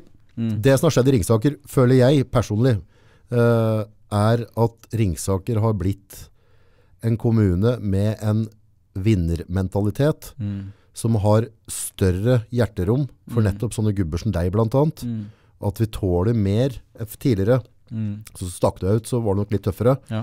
Uh, den mengden positive ting vi har fått etter vi, vi, vi CG har drevet her, det har liksom vært sånn på, på, på bekken til å være rørende. Mm. Uh, og så tenker jeg at når du har så mange som tør, Mm. uh, det kan være deg, det du driver med, Mm. Uh, og da går vi vekk ifra det du gjør for dem uh, som med mental helse og sånne ting, Mm, mm, men at du følger drømmene dine og gjør det. mm, Du gjør nettopp at kanskje jeg, da, hvis jeg ønsker å holde et foredrag, mm, kan også tenke at ja, men da kan jeg tørre òg, Mm. hvis han har tørt. Ja. Uh, og der har vi fått en eller annen sånn synergieffekt i Brumunddal. For det, Det er noe helt sjukt mye gründere Ja. som tør å starte, Ja. og som får det til. ja. Og det kjenner jeg at jeg er skikkelig stolt av. For jeg føler at jeg er en, en kommune som er liksom bare oppe og nikker. Jeg har eh, bodd i Hamar, jeg har bodd i Gjøvik, og jeg har bodd på Lillehammer og på Øyer. Jeg har bodd langs hele Mjøsa. Og eh, jeg må bare, bare sånn veldig kort gi eh, Samme som deg, gi kred til Brumunddal og Hamar Ja. for det de gjør. Og det er jo en utvikling som har på rekordtid Vi knuser Lillehammer og Gjøvik på kulturliv, på fasade, på veldig mange. Det er, det er trivelig. Ja. Det er rett og slett blitt veldig trivelig å være på denne sida av Mjøsa eh, og nede i områdene her. Og når jeg skulle velge mellom eh, å bo i Brumunddal eller i Hamar, så valgte jeg Brumunddal, for Brumunddal er trivelig. Det er en trivelig plass, og det bor masse folk. Det bor jo mer folk enn man egentlig skulle tro. For når du kommer inn til Brumunddal, eller når du kommer over eh, Bergshøgda, det ser jo ikke ut som det bor noen her. Det ser bare ut som det tårnet som vi sitter i nå, ikke sant. Så kommer du ned, og så er det jo Det er jo yrende folkeliv her nede. Det det. Så jeg foreslår jo at kommunen går inn med litt flere parkeringsplasser. Parkering. Bare sånn for å avspore enda litt til. Det, vi, vi, altså, Det kom fra han som ikke har tatt lappen. Ja, det, og det sier ikke så rent lite. Du, vet du hva? Og det her har jeg faktisk snappa litt om. Eh, fordi at vi har jo Norges farligste eh, parkeringsplass ved Kiwi. Den er livsfarlig. Ja, med gangfeltet rett over, og folk skal ja, ja, Helt korrekt. Altså, helt- ja. Mm, at ikke det skjer flere ulykker enn det det gjør. Det er, det er livsfarlig. Men nå skal ikke vi jeg, nå- avsporer jo totalt. Jeg bare vil understreke at der må det gjøres et eller annet. Et eller annet. Eh, apropos bank i skuldra og skryt. eh, Heidi Karlsen og um, Tor Rumstad i Næring, Mm. Ringsaker, Ringsaker Vekst, Mm. eh, de har vært helt unike for oss. Mm. Eh, litt sånn nesten rørende og, og, og pro de har vært. Mm. uh, med både tips og råd, og, og du kan søke støtter til uh, Ringsaker Vekst annet. Mm. Så dem har Det er tøft. Det, det, gjelder, det gjelder å sende kreden dit den eh, Hører hjemme. hører hjemme, ja. Og vi snakka her i sted om det her med priser Ja, og det, alt det her. Og jeg vet ikke med deg, men vi, vi så Hvilken pris er det jeg skal få? Nei, nei, nei. nei nei. Jeg- det- jeg- jeg- Ja, du kan få en pris, men Tror du ikke vi alle eh, som jobber med, med I hvert fall i det offentlige, Mm. eh, og som gjerne tar litt mer plass enn mange andre Mm. Jeg tar jo mye mer plass enn jeg egentlig burde i forhold til å være 1,62 høy. Men har, har man ikke alle forberedt en eller annen gang en takketale? Hvis, hvis man skal takke noen. Har ikke du gjort det? Hvi- Hvis du hadde fått en pris nå, f.eks. Eh, Gründerprisen 2019 hadde gått til deg. Hvem, hvem skulle du takka? Nei, det er kollegaene mine. For uten dem så hadde jeg ikke vært der. Men, men Og uten meg så hadde ikke dem vært der heller. Så det er en sånn eh, Det en vinn-vinn-situasjon der. mm, Men uh, hvis jeg skulle hatt en pris Det jeg kunne tenkt meg, er at vi, at vi i våres yrke, virke, uh, får produsere et eller annet som får en pris en dag. mm, Og jeg kunne ta med kollegaene mine mm, og latt dem gå først foran på rød løper. Og fått den hederen og æren de fortjener å få. mm, For jeg har, jeg har de råeste folka. mm. Det var, veldig, var litt klisjé over akkurat den der, hvis jeg skal være helt ærlig. Jeg tror ikke helt på det, men det er greit. Nei, dette er Skal du grine? skal du, skal, Nei, overhodet ikke. Men skal du høre min takketale? Ja, få høre. Ok, da er jeg klar.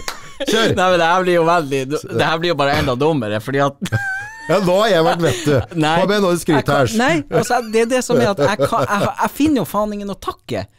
Det er det verste av alt. Når jeg har sittet mange ganger eh, etter et show, eller uansett hvor, hvor jeg har tenkt sånn eh, For det er mange som nominerer meg til sånn forskjellige priser innenfor mye rart og sånn, og så skriver de det til meg, og så tenker jeg sånn Ja, hva For all Altså, jeg tenker jo at anerkjennelse Hvis jeg hadde fått det så måtte den gå til bloggfølgerne, for det er dem som tar videre alt jeg gjør. U altså, Ja, ja, uten dem så kan jeg bare legge meg Da har jeg ikke noe arbeid. Så det er dem som deler, det jeg skriver, dem som bestiller bøkene og alt sånn.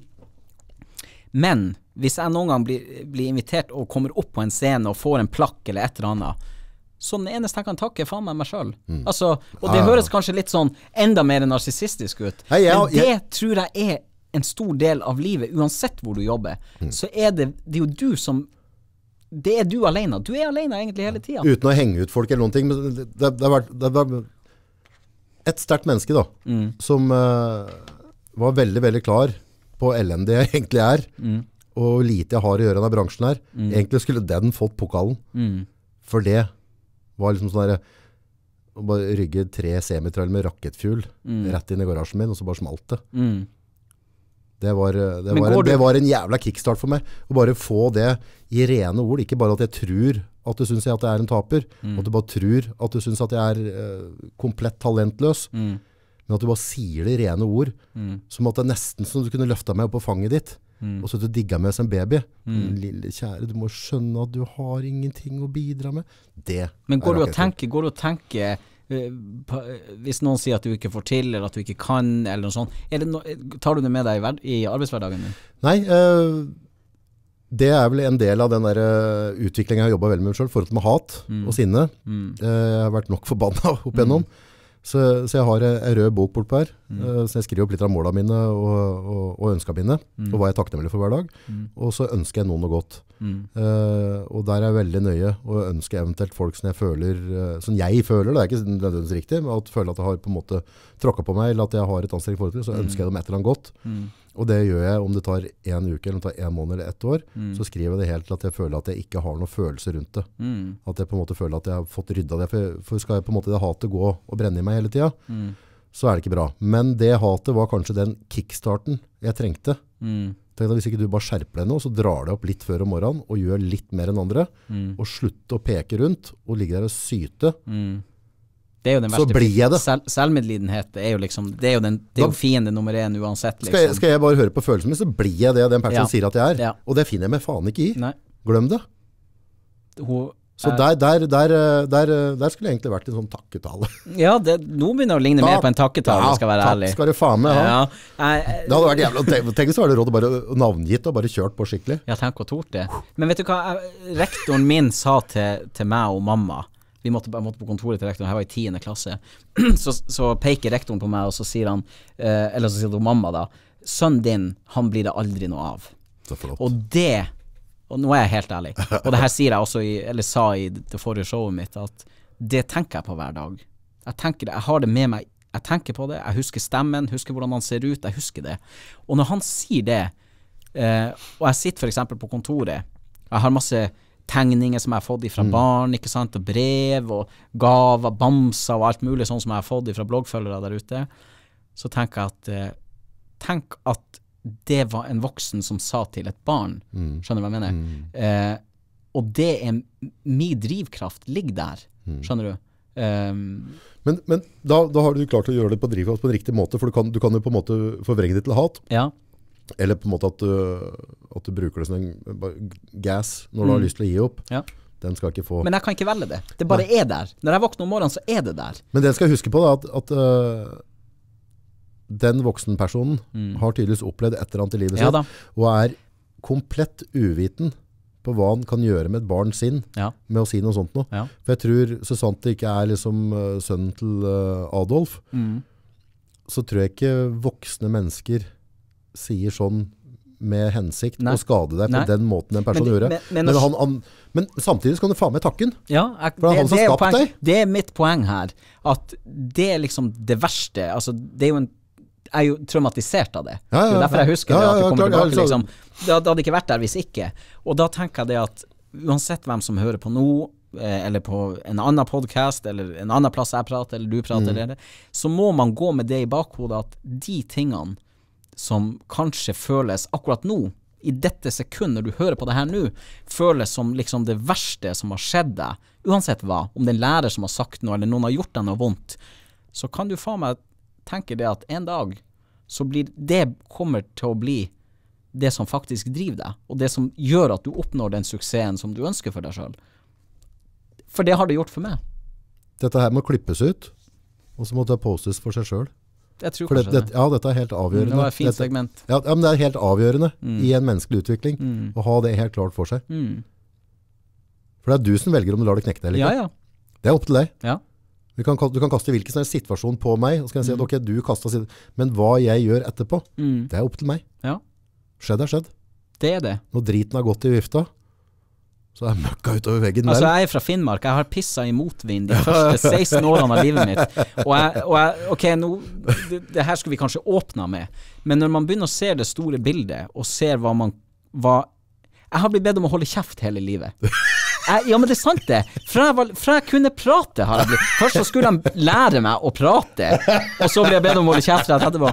Og Magnus, nå må du gå og se, der tar han sine første trinn. Sett deg ned, Magnus. Hold kjeft, Magnus. Og sånn var det liksom til jeg ble ganske voksen. Og så fikk jeg liksom nok av det. Fikk nok av å holde kjeft. Fikk nok av å sitte i ro. Og når jeg da torde å åpne kjeften, så hører hele Norge på. Skjønner du hva jeg mener? Og når jeg sier eh, skriv på Facebooken min Ja. Erna Solberg, du må gi meg en jobb. Så Erna Solberg svarer i chat. Konge. Erna Solberg. Tante Erna! Vet du hva? Og jeg tenker litt sånn at før så var det sånn at folk gidda ikke å svare meg engang. Og nå er det sånn at hvis jeg skriver noe, eller ber om et svar fra statsministeren, så svarer hun. Hun føler seg pliktig til å svare. Ja, det syns jeg er litt kult. Det er er, litt nesten kult. litt sexy, hvis jeg skal si det rett ut. Det er ikke litt, det er sexy. Det da. er sexy, Ja. ja da. Da må vi legge på sånn sexy lyd her. jeg. Vet ikke, det blir nok ikke noe Ja, det er ikke vet verst at tante Erna svarer deg. Det er Nei, kult. syns det er kult. Jeg vet ikke om hun er på Tinder, jeg vet ikke om vi hadde fått en match. Altså, jeg, du Er ikke sånn single til- her av det? det? Jeg er ikke helt sikker. Hun er fra Bergen, og de prater for mye. Men, men um, uh, vet du at jeg sveipa feil i et halvt år på Tinder? Ja, så Ja, flott. fikk en haug med matcher som jeg aldri ville ha. Skjøn, jeg har et poeng her nå òg. Ja. Ja. Fordi at jeg em, Det her var i begynnelsen på Tinder, og jeg, jeg skjønte ikke konsept Eller vil si jeg sveipa og sveipa og sveipa, det var jo det som var greia. Så plutselig fikk du en match. Og jeg tenkte ikke over at det spiller ikke noen rolle hvilken vei jeg sveiper, for du skal ikke sveipe rett vei, skjønner du. Sveip er en sveip, tenkte du. Ja, ja, ja. Sånn at når jeg plutselig fikk jeg masse matcher med mennesker som jeg aldri liksom Som ikke var min smak eller min kopp te. Hadde ikke tatt det med ildtang, sier de i? Brumunddal. Ja, eller det. Jeg prøver å være litt grei, da. ja, ja. Men uh, møtte jo mange av de her. Og, fikk, og det var der de vennskapene kom, ikke sant. Fordi at uh, det her er mennesker som jeg, på en måte basert på utseende, hadde dømt om at vi har ikke noe til felles, vi har ikke noe å prate om. Men så hadde vi det. Og så Ah. kom det noen gode vennskap ut av det. Ja, så kult. Så vi skal ikke dømme noen, verken på utseende eller Tinder eller Det er klart, eh, vi gjorde ikke noe mer enn å møtes, selvfølgelig, men eh, alle Jeg har nå mine preferanser, jeg òg. Ble en god samtale. Ja, det Jeg kunne jo ha tatt 350 kroner billetten, føler jeg, i ettertid. Mye tapt inntekt. Ja. Men du Magnus, Mm. hvordan er livet ditt nå, dag til dag? Altså, hvordan har du det mentalt sjøl? Eh, hvis jeg kan Ikke noe grining nå, altså. Nei, nei, nei, det er ikke noe grining. Vet du jeg har det veldig bra. Du har det bra? Jeg, jeg har det bra. Jeg har funnet en ro i livet mitt som, jeg, som jeg Jeg vet hvordan jeg skal hente meg inn, hvordan jeg skal slappe av. Jeg setter alltid av tid til meg sjøl. Folk sier 'Å, du stresser så mye', du må sette av tid til deg sjøl. Du skulle bare visst hvor mye tid jeg faktisk setter til meg sjøl, ikke sant. Um, Ti minutter hår morgen. ja, før Jeg hadde ikke tid å spise frokost engang før. Du vet, Gründere de et ikke frokost, de spiser på kontoret. Ja, ja. Men jeg fant ut at jeg begynner å fjerne ting som faktisk er i tid som bare Magnus trenger, Mm. ikke sant? uten å måtte gi noe hele tida. Så jeg, jeg begynte å sette av en time på morgenen.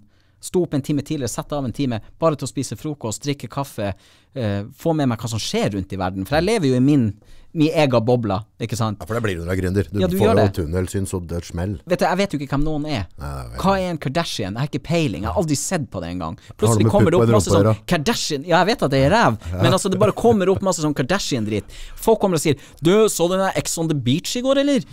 Ex on the Hva? Hva faen du prater om? Jeg har jo ikke TV-kanal engang. Er du sopskolt? Altså, Ja, ja. men eh, fordi at folk er opptatt av så mye trivielt der ute. Eh, og ikke Jeg ser jo ikke på TV, så jeg vet ikke hvem noen er. Men, men jeg begynte å sette av tid til meg sjøl og sånn, har funnet en helt egen ro. Eh, jeg er ikke noe glad i sosiale medier, ironisk nok.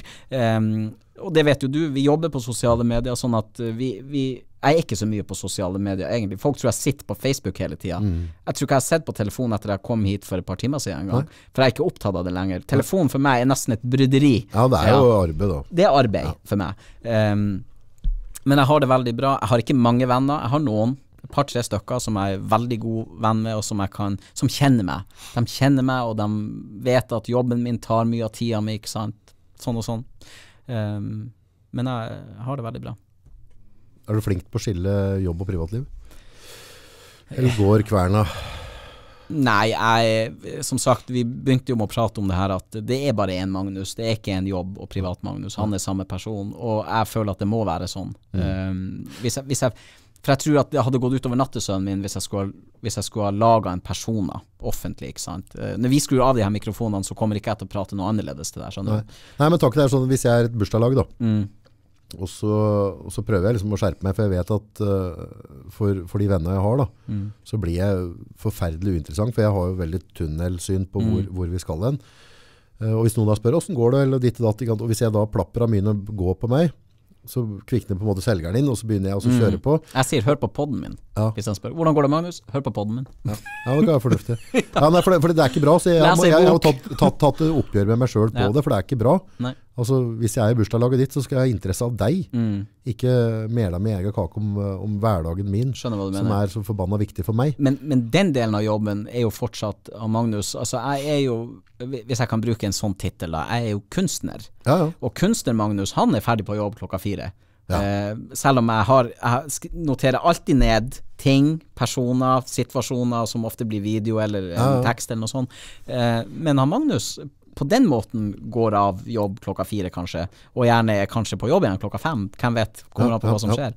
Men, eh, men jeg, jeg er nok litt kanskje som deg. Jeg tror at man, man skaffer seg en, en rutine på det. Mm. Hvor at når du går hjem så Altså I begynnelsen så kan det ikke være sånn, da er du på jobb 24-7. Mm. Men etter hvert som bedriften og alt Går seg til. går seg til, så er det lettere å elte igjen av Magnus, kunstner-Magnus hjemme. Eh, og bare være Ja, for det er ganske tøft. For Ja, jeg kan tøft. sitte og prate med dattera mi, og hun skal fortelle åssen dag jeg har hatt i barnehagen. Og så går samtidig kverna svirrer om et eller annet jeg opplevde på jobb rett før jeg drog, eller en mail, et eller annet må respondere til, Ja. et eller annet må ta tak i. eh, og klare å, å få liksom stoppa den, Ja. og være i nuet. For det er jo ikke noe som er mer viktigere for meg enn familien min. Eh, og jeg har jo vært så Ja, jeg har fått to dritkule døtre. Mm. Så jeg er jo knallheldig. Jeg har to onkelunger, og jeg, jeg føler på det du sier nå, for jeg er ikke barn sjøl. Jeg har ønska meg barn i mange år, men det har ikke vært tid til det. Hvis jeg kan være ærlig, det har ikke vært tid til det. Det som Jobb, litt, jobben har jo vært tid til. Ja, du har men selv prøvd. unger Ja, ja, er gal, jeg har prøvd. Men eh, Så jeg har lagt Jeg håper neste gang eh, det skjer, at det bare skjer med en gang. Fordi jeg har lagt så mye jobb. Jeg har allerede gjort grov Jeg har gjort grovarbeid. Men i hvert fall ehm, da er jeg virkelig i nuet, når jeg er sammen med dem. Ehm, ikke noe telefon, ikke noe PC, ingenting. Så bra. Bra Og det, og det å være til stede i sitt eget liv, uansett hva du gjør og jobber med, er jo det viktigste. Fordi at jobben er en jobb. Ja. Sant? Den skal skaffe deg mat på bordet, og den skal skaffe deg uh, litt selvrealisering og sånne ting. Men livet er jo hver dag. Hele tida. Mm. Gjennom hele dagen. Um, og det er fint. Og livet er fint. Det er fint. Skulle ønske at uh, Jeg har sett deg litt på Facebook og Insta og sånne ting, men Mm. uh, jeg skulle ønske at uh, flere folk som ikke følger deg Mm. per i dag, hadde fått lov til å hilse på den sida jeg hilser på deg i dag. Mm. For da tror jeg veldig veldig mange flere hadde kommet til å følge deg. Nå har det forferdelig mange som følger deg allerede, Mm. men du, har absolutt, du har absolutt noe å bidra med. Så det er bra. Jeg, jeg, jeg tror Eller når folk sier Magnus, hva er, hva er egentlig denne jobben din? Hva er, det, hva er denne Facebook-sida? For det er veldig mye rart der inne. Det er mye forskjellig tematikk. Det er mye Det som det, det er mitt liv. Det er mitt kaos. Det er min verden folk kommer inn til der. Um, og jeg vil bare skaffe en, et, et samlingspunkt for alle som trenger å bli hørt, for alle som trenger å bli sett. Og det tror jeg at jeg har klart, Mm. faktisk. Og jeg tror at uh, jeg er bare helt i starten på det jeg skal drive. Nå kommer det jo et standup-show til høsten. Konge, konge. Premiere i Brumunddal. Er I Eh, Brumunddal? ja. Dato og klokkeslett, er du snill? Nei, kommer, det kommer i august-september, kommer datoene og alt. Så da blir det slipp på meg som standup.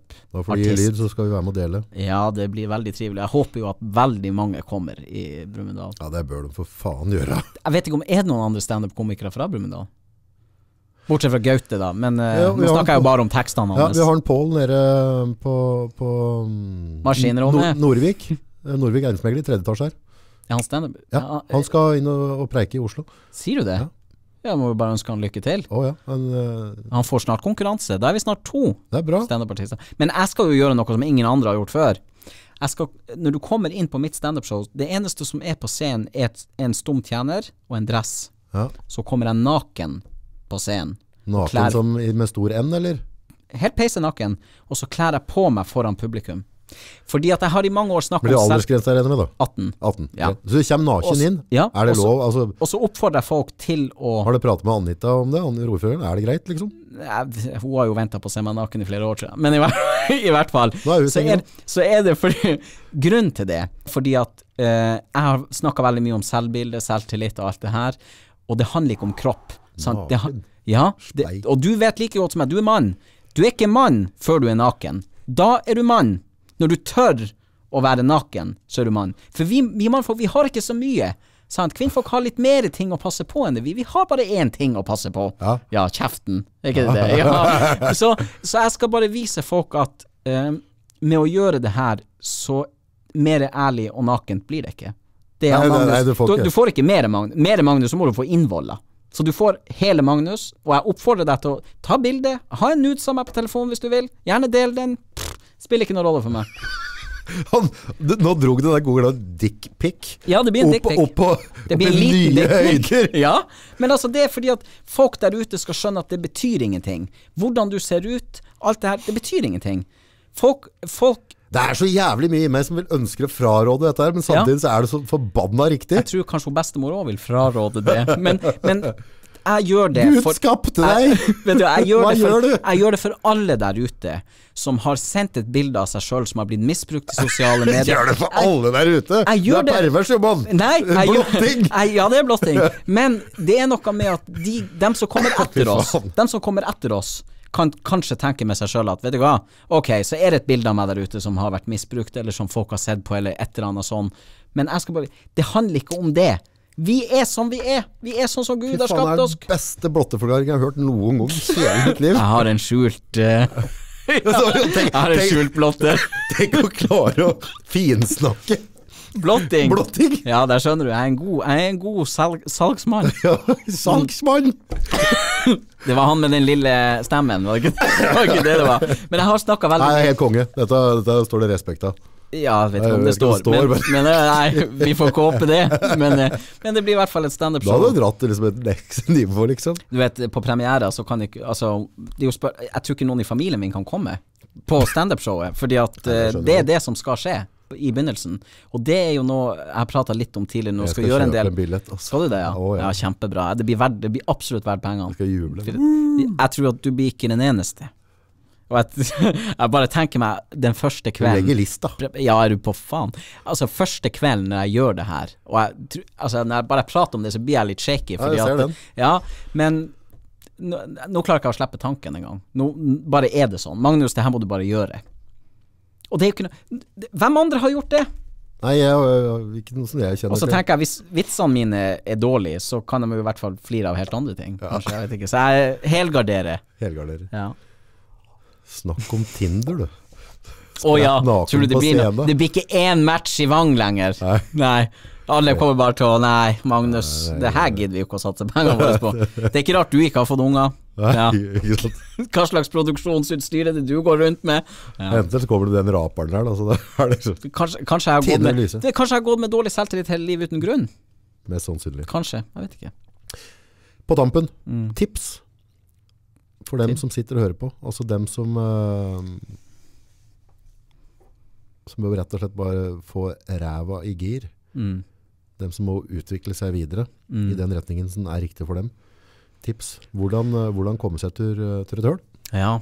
Um, jeg tenker det at uh, alt historia mi, grunnen til at det fungerer, grunnen til at veldig mange kjøper bøkene mine, grunnen til at to av bøkene mine er bestselgere ehm, Det å se verdien av det man sitter med, og det å Eller stryk det, eller stryk det siste der. Jeg tenker det at um, når folk spør meg Magnus, hvordan har du fått det til, eller hvordan skal jeg gå frem, eller hva det måtte være for noe Det jeg gjør, er det ingen andre som har gjort. Det er derfor det funker.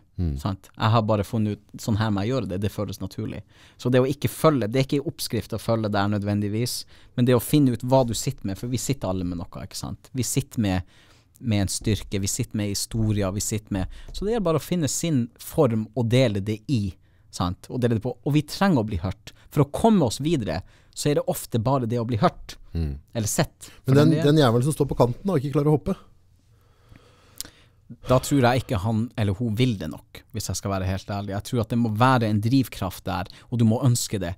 Jeg har sagt mange ganger 'Å, jeg ville bli kjendis'. Nei, det vil jeg ikke. Jeg er full av sosial angst. Jeg vil helst ikke bli gjenkjent i det hele tatt. Det er jeg er brydd når folk vet hvem jeg er. på et eller annet ja, ja, eh, men det handler om at jeg Det har alltid vært der. Jeg har hatt kamera siden jeg var åtte. Jeg sto på scenen med Jahn Teigen da jeg var fire. Jeg begynte å danse Michael Jackson før jeg hørte hjulene på bussen. Sant? Det har alltid vært meg. Det du ser i sosiale medier, det du leser i bøkene, på showene mine, det er Magnus. Det har det alltid vært. Sant? Så det er ikke noe 'Å, sosiale medier kom, da må jeg lage video og legge ut'. Det var ikke sånn det var. Det har alltid vært der. Det er det som er av Magnus, ikke sant. Og alle må finne sin form.